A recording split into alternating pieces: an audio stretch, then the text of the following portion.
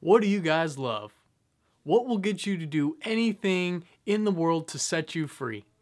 How many hours are you going to put in to make sure that you and your family, your loved ones, will be free for the rest of your lives? You know, I came to this conclusion just a few months ago, actually back in February. I came to the decision between whether or not I should continue pursuing the dream of uh, what I graduated college for. Like, I I went to a university and graduated. And next thing you know, I'm realizing I can make more money and set myself free by setting up a business all on my own. Guys, this is what I wake up for every morning. It's 6 a.m., 7 a.m. I'm hyped. I get on my phone, I reply to messages for people, I'm helping people out. And guys, what is it that I love? Right now, it's helping other people and it's building my business while helping other people, guys. This is what is awesome. I cannot stop talking about it. okay?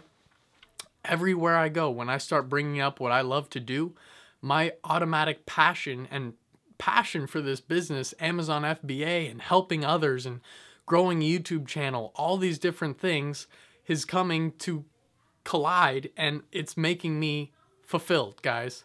I wake up, I know where I'm going, I know the path laid out in front of me.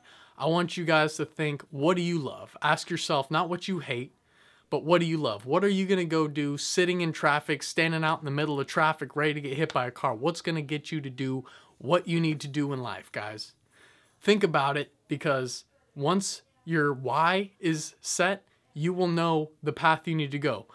If you uh, imagine a giant two buildings here and a little tightrope that you have to walk across. Imagine uh, you're a million dollars on the other side. Are you going to walk across that skinny tightrope to get that money over there? Maybe, maybe not. Imagine if that other building is on fire and your loved one or child is over there. Are you going to run over and get him? You bet so, because this why, the why that you're about to do that for, is different if someone's telling you to go walk across that tightrope just for fun, there's no way you're going to do it. But if your why is that you have a loved one over there, you're going to do it. I'm telling you guys, building small habits every day and working towards your why and what you're doing that you love is going to build momentum for you guys. Guys, one moment here. This book, The Compound Effect, it's talking all about building momentum and after you get that momentum built it's like a merry-go-round. Once once that wheel is spinning it's hard to stop it. So you got to work for that ground floor. When you start with zero subscribers on youtube you got to work for it.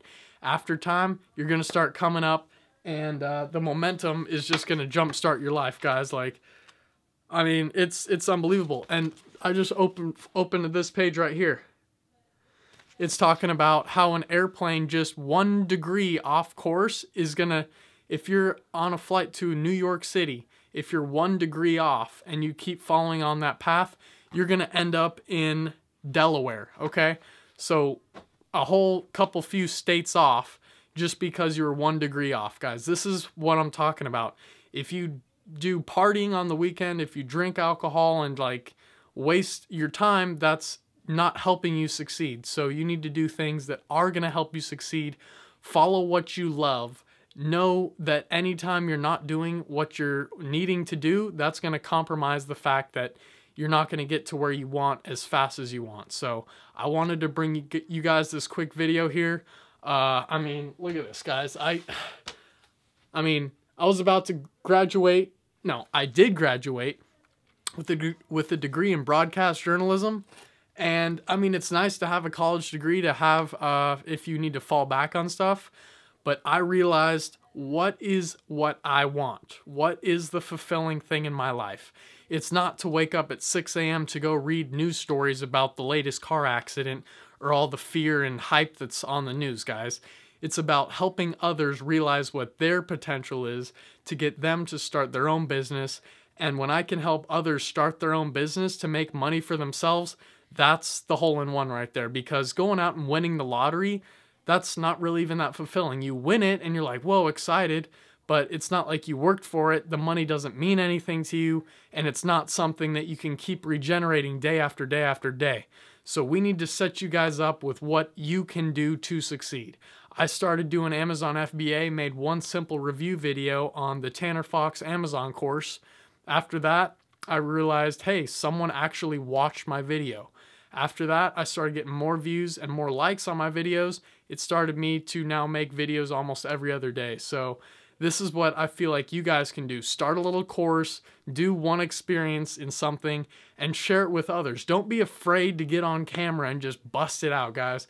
I know you guys can do this. So if you guys have any comments, leave them down below. It's Friday.